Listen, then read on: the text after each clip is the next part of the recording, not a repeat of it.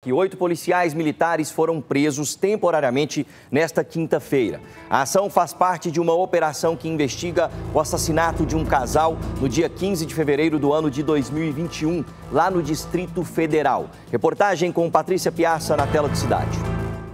A manhã de quinta-feira foi movimentada na Delegacia Estadual de Repressão a Furtos e Roubos de Veículos no Complexo das Especializadas em Goiânia.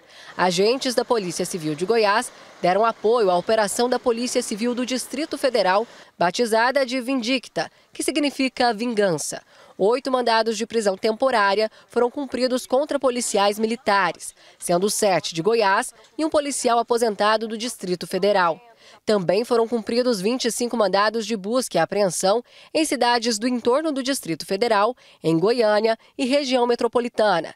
Até um helicóptero da Polícia Civil do DF foi usado durante os trabalhos. Os PMs presos foram levados para a Corregedoria da Polícia Militar. Eles são suspeitos de participar de um duplo homicídio contra um casal em fevereiro de 2021, em Riacho Fundo 2, em torno do Distrito Federal. Segundo a investigação da Polícia Civil, o jovem tinha envolvimento com o tráfico de drogas e era suspeito de participar de um homicídio. Tiago Duarte Neto teria matado um policial militar aqui de Goiás.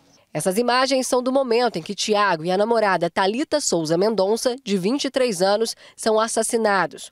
O carro onde o casal estava aparece manobrando para estacionar. Logo atrás, um outro veículo para no meio da rua. Quatro homens descem e disparam cerca de 30 tiros contra o casal, que não resiste. Tudo à luz do dia. Segundo as investigações, Talita não tinha antecedentes criminais.